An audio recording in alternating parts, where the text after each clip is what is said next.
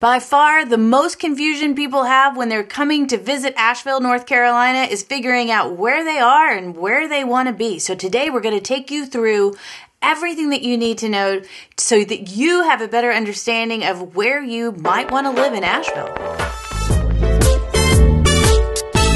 Okay, zooming in on the US, we are heading straight down to western North Carolina. And would you look at that? Probably easier if there's less things around there. So there we have there we have Asheville. So we're bordering Tennessee, we're bordering South Carolina. We're also really close to Georgia too. Asheville is about an hour 15 minutes from Greenville, South Carolina, a town kind of similar size to Asheville. And about two hours from Charlotte. And Charlotte's a financial hub and a bigger city. You can see some Broadway shows there and experience the city life. And then again, about uh, two hours from Knoxville, Tennessee. So you can see some football games and some big concerts in Knoxville. And then if you look down to the left, the lower left, you'll see Atlanta, Georgia. That's about three and a half hours. International airports in Atlanta, we fly out of there sometimes and also fly out of Charlotte. If you want to head to the beach from Asheville, head right down to Charleston, South Carolina, straight shot down. That's four hours away. But if you want to go to the beach and still be in North Carolina, you kind of have a little bit of a haul. You're going to go all the way across Raleigh, Durham, out to the Outer Banks. It's absolutely beautiful out there, but it takes a good 10, 11 hours to drive from Asheville out there. So let's zoom in a little bit more and head on into Asheville. If we start to look at how Asheville is structured, we have I 40 that goes all the way across Asheville from side to side. And that's really your shortcut to get from east to west Asheville, from like Candler to Swannanoa. You never have to get on what I call the rainbow, which is like 240, which goes up and over Asheville like this that kind of takes you through downtown and the city up to Montford and kind of connects the north and the south of, of town. And then we have I-26, which which goes all the way down to the coast, like we talked about in Charleston, and all the way up through places like Weaverville and Mars Hill. That's how you get to the north of Asheville. So if we're looking at it from a whole, it's a pretty easy system to get around when you're considering the interstates. A lot of people look at Asheville and they think, oh, wow, it's really not that far to get from one place to another. But here's the catch not all these roads are really like thick and straight and easy to drive on because we have the beautiful Blue Ridge Mountains that surround us. So sometimes when you look on a map and you're like, oh, it's only 40 minutes to Chimney Rock that 40 minutes is pretty labor intensive sometimes because you can have some windy roads. So just kind of keep that in mind when you're driving around Asheville. Hi, I'm Beth Shadler, and we are the Living in Asheville team where we explore what it's like to move to Asheville, North Carolina. Please feel free to reach out in any of the ways down below. Give us a call, send us a text. We absolutely love it. And hit the subscribe button. You're going to want to learn more about Asheville. And click that little bell so that you can be alerted every time we make new videos for you. So, when we're thinking about Asheville, North Carolina, Asheville sits in Buncombe County. And Buncombe County has about 300,000 people, while Asheville city limits has about 100,000. So let's take a look at this on the screen and look at Buncombe County and what that encompasses. So you can see that Buncombe County kind of goes all the way out to Sandy Mush, up to Mars Hill, over right past Black Mountain, in and around Fairview, past Fletcher, and back up in between Canton and Candler. So it's quite a large area.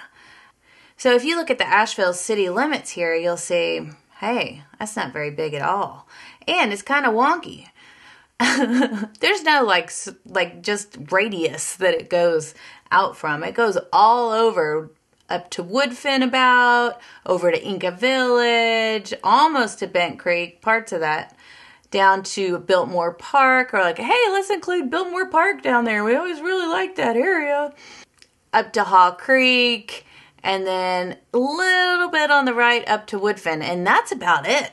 That's a little, little area, which is good for you taxpayers that don't want to pay city tax because if you're outside the city limits, then you only pay Buncombe County tax. So it's going to be a lot cheaper. Not that North Carolina has really expensive tax anyway, but just something to think about. So as we work our way back over to the map, I also want you to note the topography. So when you start looking at the mountains of North Carolina and of Asheville area, you can kind of see I have a lot of people that, you know, want views and you can kind of see where those views are when you're looking at the map here. And I encourage you all to do this. Study this because a lot of the properties that you're going to see that you're going to be interested in may be difficult to get to, or they might have a steep driveway, or it may look absolutely fabulous from the listing that the realtor had put online. But then when you look on Google Maps and you see what's around it, maybe you're like, ah, that's not my cup of tea. That is too good to be true. So always look at Google Maps and check out the topography too.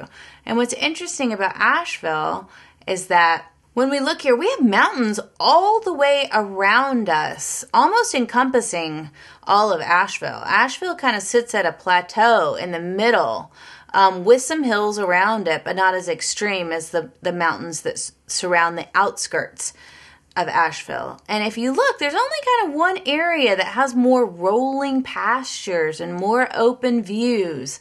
And that's kind of more around the Leicester area. So look over here and see how the topography kind of changes there. And you see there's less vegetation and less trees on the mountain. So that that means you just have like these open vistas and like it kind of reminds me of a fairy tale, like a happy valley type of area because you really get this wonderful picturesque landscape of mountain views that stack on top of each other. It's gorgeous. But Leicester in itself is still developing, so Leicester might not be your cup of tea, even though it's absolutely gorgeous. You can get views anywhere around Asheville. And if you're ever interested in learning more about the traffic in Asheville, or combating stories that you may have heard online, you can always go on the layer for traffic and it will show you what's happening in Asheville at the current time. So, right now it's not too busy. It's Saturday afternoon, about 3 o'clock. People are not out doing a lot today, and that we have green lights every single place. There's not congestion anywhere, which is not normal.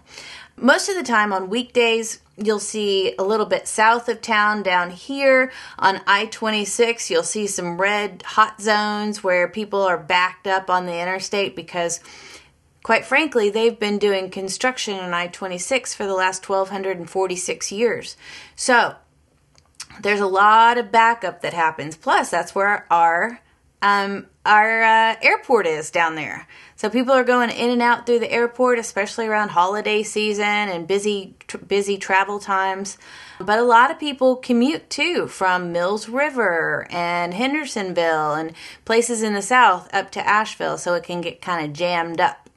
Okay, now that we've covered the outskirts of Asheville, let's head straight into town. As we zoom in, you're going to see the main points of Asheville city proper. So again, really it's it's 40 that goes across and then 240 that goes up and over. And then here's kind of the downtown area. So you see this yellow part here? This is where all the action happens. This is downtown Asheville. This is where you're going to find the the civic center with big music happenings and all the tourist attractions and the little parks and the wonderful wonderful restaurants that you've heard a lot about. And then down here this is called the south slope. And this is where all the breweries are located. Now back in the day this area didn't used to be much of anything. It was quite industrial. But some some smart people got together and they're like, let's put 12 million breweries down here. Now, I think how many breweries are down there? Like 20 something breweries all located in the South Slope. You can just hop from one to another to another, so you don't even have to get in your Uber. Uh, and then if you're just staying downtown, that's even better. I'm not sure how loud it gets in that area. I'm, I can imagine at night on the weekends it could get a little loud, but uh, I'm sure it's a lot of fun as well. And then you have like a big music venue there called Rabbit Rabbit. You also have the Orange Peel nearby. I'm sure you've heard of these if you're if you're into seeing shows in general. But there's a lot happening downtown, and that's kind of the hub of everything. That's where our baseball, Asheville tourists, you can see down here. That's where our, our baseball field is. Um, and yeah, here's some more. Uh, here's some more breweries. Grey Eagle Music Hall. So here we have the downtown. If you ever want to buy a condo downtown, it is probably a really fun experience to be able to live and be downtown without having to leave because everything kind of operates from that area. Unless you are a full time local resident of Asheville and you're not so concerned about the hustle and the bustle of doing all the things and say you have kids that go to school on the east side or the west side and you have to be different places, it's probably not so convenient to live downtown. Another thing, if you're downtown, you'll also want to check out Pack Square. And Pack Square is really interesting because that's where the Buncombe County Courthouse is and the city buildings. There's also a big open green space right in front of that. So throughout the year, there'll be different events like the Big Crafty, or people will have performances right here on the stage. Oh, right here is a stage, and then you can sit out here. There's some ecstatic dance throughout the year too. It's just a big place to congregate downtown. That's kind of open and and free to the public. And then here, yeah, here's the city hall and the Buncombe County uh, District Court Right to the left, we have the police department and the fire department. And then we get into the heart of downtown. So if you want to get out of downtown and you want to go north, the easiest way is to take Broadway up to Merrimon. And Merrimon Avenue is the gateway to the north of Asheville. Okay, headed out from downtown, I want to give you a, another little overview of where we are and what we're looking at in Asheville. Because this being kind of the, the main hub of Asheville, it's important to know what's around here. So, this little part right there, that's the downtown that we were looking at.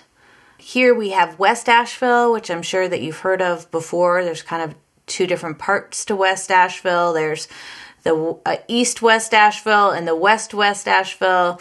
The hip part is kind of all around uh, Haywood Road, so that's what you're really going to look at. And we'll get into that deeper when we get into the different quadrants of Asheville, but this is just the overview portion right now. So that's West Asheville, and this heads out to Enka Candler, the Twin Cities, and then you're head you're headed straight out of town at that point. So then to the south we have Biltmore area down here. And then we have the Biltmores, like Biltmore Forest, Biltmore Park, areas like that towards the south, Biltmore Village. Everything kind of rotates around the Biltmore estate because that's where all the workers live too. So it's kind of an interesting area. On the other side, we have Oakley, which is a popular area of Asheville too. And then Haw Creek towards the east. And this is going to head out towards Swannanoa. And then up to the north, we're going to have the University of North Carolina. And then we have Montford, which you may have seen the video that I made about Montford as well. And then we have the Grove Park, the Grove Park Inn up to the north. There's a lot of reasons to like the northern side of Asheville, and even all the way up 45 minutes up north of downtown Asheville is absolutely stunning. It's one of my favorite parts of uh, Asheville is right north of Asheville near the University of North Carolina, Asheville. And I'll kind of show you why because there's a lot of unique charm there. So as we head out of downtown, we are going to go straight up on Merrimon Avenue. And this goes all the way up to Woodfin and Weaverville, places like that. But here, right out of downtown, look how close that is to downtown. We have a Whole Foods market and this is a twofer because next door we have a Trader Joe's, actually a threefer, and there's a Publix. There's a Publix, Harris Teeter. There's a Harris Teeter there. People love this area because you can walk to all the different grocery stores. There's also coffee shops and little boutiques as well. There's a spa nearby. There's a vet There's anything you want, restaurants, whatever, right along Merrimon Avenue, right there. And that's really close to Montford. This is where, when you think about the the the olden days of all the history that encompasses Asheville, that's kind of where it happened. And it's all before like I 26 and the French Broad River, all on this side of that, on the left side of Merrimon. And University of North Carolina, Asheville. We have the botanical gardens right there. So within, I don't know, four minutes from downtown Asheville, you have walking trails. It's absolutely gorgeous. You can kind of get lost in the woods really close to Asheville. On the right side of Merrimon, again, really right right close to downtown, you have the Charlotte Street area. Now, Charlotte Street has a long sorted history, but is a really nice area. It's also called the wellness area of Asheville, which I recently learned lately because there's a lot of yoga studios. The Ayurvedic Institute just moved to Asheville from New Mexico, and that's located in that area. And there's just a lot of spas and massage and Reiki, and that's where all the wellness practitioners kind of gather.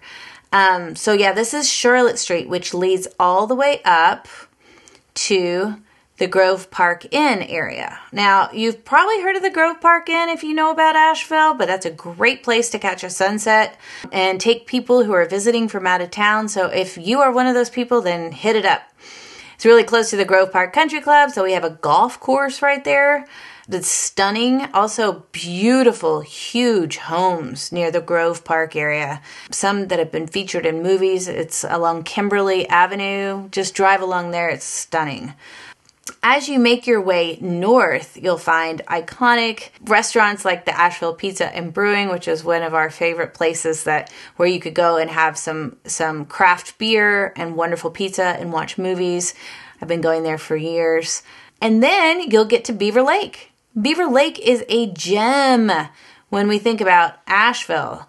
Hi, I'm Beth Shadler, and we are the Living in Asheville team where we explore what it's like to move to Asheville, North Carolina. Please feel free to reach out in any of the ways down below. Give us a call, send us a text. We absolutely love it.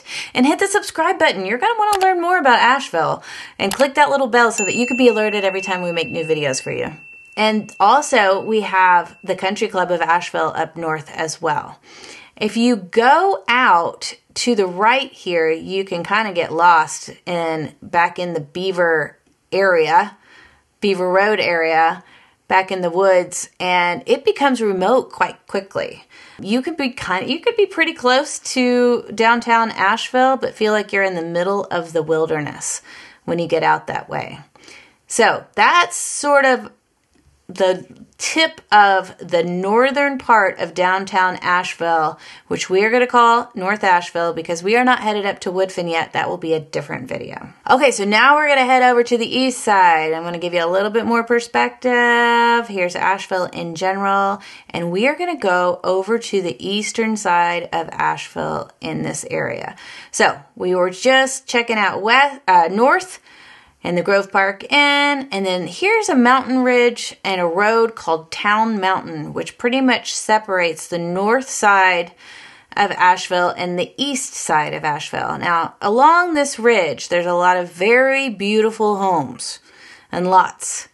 And they overlook downtown and they overlook the mountains of western North Carolina. It's an absolutely gorgeous place. But there is a mountain ridge. So once you go over that mountain ridge, you are going to head into East Asheville. Now you can get there from downtown on Tunnel Road. So once you go through that tunnel, you'll know, okay, boom, it's a portal. It's also a portal to nature. So East Asheville is kind of known for its nature and its less chaotic lifestyle. Um, it's easy to get a little bit more land there. It's just not as uh, hustly and bustly as the rest of Asheville can be at times it's quite it's quite blissful. I really like it. And Haw Creek is a really large neighborhood that you can see highlighted there, and it kind of puts it in perspective to how big Haw Creek is. Haw Creek has a couple of elementary schools, lots of little subdivisions and neighborhoods inside the area of Haw Creek. The Blue Ridge Parkway, you can see, borders one side of Haw Creek, and there's trails. In some houses here, you can walk right out your back door and walk on trails all the way up to the Blue Ridge Parkway, and you can just keep walking. It's absolutely stunning. So, if we look a little bit more into taking Tunnel Road out of downtown Asheville, you're going to pass quite a few neighborhoods that you may have heard of or may not have heard of. One of those is Beverly Hills. Beverly Hills has a lot of homes from the 1950s and through the 70s. They're usually one level. There's a golf course nearby, but it's not like there's an HOA or it's really a golf course community. It just happens to be really close. Taking 70 or Tunnel Road out a little bit more, you have the East Asheville Library and then the VA, the Veteran Affairs Medical Center. Um, and as far as I've heard, we have one of the best VAs in the region, in the southeast, as far as I know. So we're really, really lucky to have that there. Now, again, you can see the Blue Ridge Parkway goes through there. Now, that's another way for you to get around. You know, if we look out a little bit and we see where the Blue Ridge Parkway goes, you're able to get on it in many different places. Now, this is something that I use often to get to the south because you can see how the Blue Ridge Parkway goes all the way up, and I can hop on right here and go all the way down here pretty easily and without a lot of stress. So, headed back to East Asheville, you have the Southern Highland Craft Guild. There's a lot of a lot of nature. You'll see there's just not a lot of stuff happening out there. But one thing that we did do, which is really smart, is that we ended up housing all the big box stores in one area. So a lot of people when they think about Asheville, they think about all the boutiques and the arts and crafts stores and the mom and pop stores and everything that makes it kind of artsy. And we have that. And it's all downtown and it's in West Asheville and it's all over. But we decided, you know what, we're going to put our mall and our TJ Maxx and our Target and our Walmart and all the things that come with any old town in one place. So that's exactly what we did here in East Asheville. And so there's the Asheville Mall, there's Target, the River Hills Shopping Center, there's a big movie theater there. Um, we just put it all in one place. So if you need to go do any of that stuff, you can just go right there. There's another Whole Foods. There you go. So if we go a little bit farther out on Tunnel Road, you'll see that we'll get to Swannanoa. Now, Swannanoa is its own thing. It's outside of Asheville. But one thing to note in this area is Warren Wilson College, which is a liberal arts college, and there's great trails around Warren Wilson too. And then that is where the Leaf Festival is, the Lake Eden Arts Festival out in that area. It's absolutely stunning and not to miss twice a year. Okay, so now that we're headed back over from Swannanoa back to Asheville, you'll see right in the southeast, you'll have the AC Reynolds High School and the Reynolds High School, di- uh, Reynolds District as well. That services a lot of students in the eastern part of Asheville. And then you have, like I said earlier, Oakley, and this is kind of near what my husband finds fascinating is the Home Depot. and uh, again, you're, you're really close to those big box stores. And then what's interesting too is that really nearby you have another historic district, which I haven't, I have talked a little bit about in other videos called Kenilworth. There's a lot of old homes there and a little lake too, and that's quite close to downtown. And then we have the Biltmore Village. So this is all situated around the Biltmore estate. It's a little area with shops and restaurants and boutiques that you can walk around. It's quite charming, old worldly, right located right outside the Biltmore estate. Okay, so really close to the Biltmore Village and in between that and downtown, you have our main hospital in Asheville called Mission. And Mission has everything that you'd need. It's where you go for surgeries in the emergency room and everything. And if you kind of look at see where that is, here's downtown, here's Mission Hospital, here's Biltmore Village, here's east, north, and now we're going to work our way south. So, you see the big old thing that takes up a lot of space in the southern part of Asheville is the Biltmore Estate. Many acres of beautiful land is owned by the Biltmore, and many people come throughout the year to enjoy it. There's horseback riding and vineyards and there's the azalea garden. But anyway, it takes up a lot of space and it's also gorgeous. We used to have an annual pass that we really enjoyed. Um, so right, so there, so there's not a lot of public access, I guess is what I'm saying, to the southeast of Asheville. But you will find here, if we zoom in on 20 on Highway 25 that goes down, that is the main thoroughfare to the southern part of Asheville. Besides, on the western side, there's I 26, like we talked about earlier. Now, this is going to take you down, Hendersonville Road is going to take you down to the southern part of Asheville, and there's going to be Ingles, and there's the DMV license plate area, which we frequent. And here comes Biltmore Forest, one of the most prestigious neighborhoods in Asheville, and the Biltmore Forest Country Club. We have a lot of country clubs around here. And I also kind of call it this is a, a bigger area for retirees and I kind of call it the like doctor's row. There's physical therapists there. There's there's dentists. There's occupational health of all sorts. Other kinds of doctors, all located along this road. There's also lots of townhomes and condominiums in that area, so a little bit more stress free lifestyle can be found in the southern part of Asheville. But what happens in the southern part of Asheville too sometimes is that you lose that charm of being in Asheville proper and and sometimes it can become kind of like you're you could be anywhere. So a lot of the most popular restaurants in downtown Asheville have opened up second locations down in the south few different reasons. It's because, you know, people don't want to drive, you know, and, and sometimes be stuck in traffic to get downtown.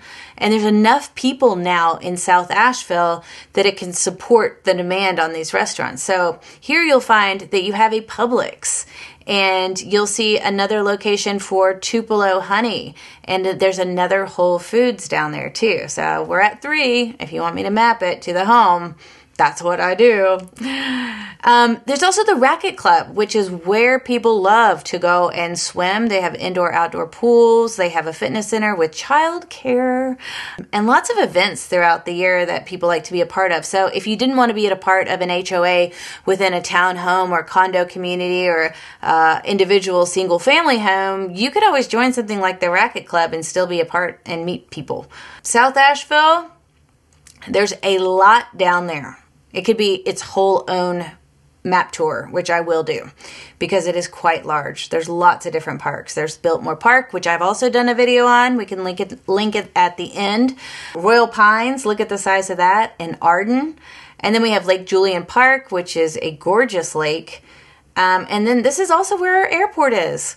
So the Asheville Regional Airport, regional, not international, but Asheville Regional Airport is about 20 to 30 minutes from downtown Asheville. Really convenient if you have to travel a lot. Now, most of the flights go from Asheville to Charlotte, Asheville to Atlanta, or to Chicago, or to DC, somewhere like that. But super convenient and I've always had a really easy time getting in and out of there. It's about the less stressful experience I've had when flying is flying to and from Asheville. Okay, now that we've covered the south, let's head over to the western side. Starting with this area called Bent Creek. Incredible! Houses from the 70s, really cool. I'll do a, I'll do another map tour about that that kind of goes into detail about Bent Creek, one of my favorite places because the best mountain biking is in this area down there. And then you have the North Carolina Arboretum right there too. Uh, Bent Creek is incredible. So as we're headed back up, you'll see on the west side. On the west side, we'll start out and we'll come, we'll come back in. We have Biltmore Lake, which I also did another video about Biltmore Lake gorgeous subdivision. You can walk all the way around this lake. You can get a canoe, a kayak. There's a little beach there, but it is private. You got to live there. You can't just go hop in there run around. And then we have Candler. Candler kind of flanks the western side of of Asheville and it's developing. I love it because it is a, a mix of all kinds of people and kind of started out really rural, rural and it not a part of like what you think about when you think about Asheville. But over the years, because of its proximity, it has become really part of Asheville. When I first moved, and bought a house in Asheville.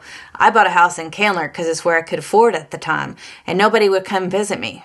So I'm like, how can I get people? It's 15 minutes from downtown. I'm like, how can I get people to come visit me? So I end up getting a hot tub, and then people are like, oh, can we come over? So anyway, that's the trick if you want to live in Candler. But now people don't care. They're like all the way in Candler. It doesn't matter. And we always call it the Twin Cities because it's Enka Candler. Now, Enka is just a, a little area you can see the Enka Village here. It's just a little area before you get to Candler. And this area is called, I mean, this road that takes you out there is 1923, otherwise known as Smoky Park Highway. Hi, I'm Beth Shadler, and we are the Living in Asheville team where we explore what it's like to move to Asheville, North Carolina. Please feel free to reach out in any of the ways down below. Give us a call, send us a text. We absolutely love it. And hit the subscribe button. You're going to want to learn more about Asheville. And click that little bell so that you can be alerted every time we make new videos for you. So coming back in towards West Asheville, so you can either go 40 to go to the south, or you can go up and over to 40, which is going to take you into the heart of West Asheville. And let's get a little bit deeper in here because this is really interesting. And again, I'll do another video of just West Asheville so we can really dive deep into it. So West Asheville is a really popular place. There's just fun things happening. I mean, like there's impromptu dance parties that pop up at like a gas station. Um, there's lots of beer and and live music, but also open mic nights and just art everywhere. Record stores, things like that. And that's kind of happening along Haywood Road right here. That goes all the way over from you know, the the river all the way over to Patton Avenue. So this thoroughfare right here is where the action is happening. So if you live anywhere kind of walkable area here to Haywood Road in close proximity, you're going to be having a nice time. A lot of the houses there are from the 50s, the 60s, some in the 70s, but older arts and crafts style. Smaller footprints because it's in high demand. But there's just so much happening. And there is some new construction happening in West Asheville too. But it's kind of like like I said, smaller footprints and kind of being built up instead of out. So if you look here in West Asheville, there's not just Haywood Road that is a wonderful opportunity, but there's Carrier Park, and Carrier Park has a huge playground. It's right along the French Broad River. There are races that are run there. There is yoga in the park. There is a dog park right there as well. You can see there's an RV park. There's lots to do right there. And there is a greenway that goes all the way up and around there. Carrier Park is where you go and exercise by the river. You can either put in or take out there too. We get in the river. We get in the French Broad River in tubes and kayaks and rafts. I've been in there on New Year's Day going down in a t shirt. So you never know what it's going to be like, but it is wonderful that we have such a resource that runs right through the center of town. There are different areas here you can see in West Asheville, all have different little personas. New Belgium Brewing is really close to there as well. And it's a hop, skip, and a jump from West Asheville over to the River Arts District, which is right here.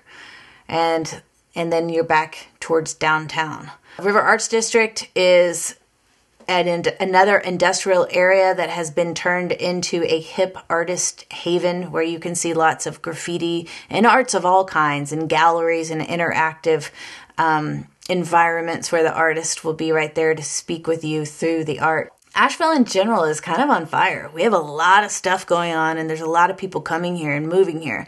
So, if you're interested in it, please reach out in any of the links down below. We'd be glad to help you kind of figure out where you want to be. And check out these videos because they're going to give you some deeper insight into where you think you might want to live.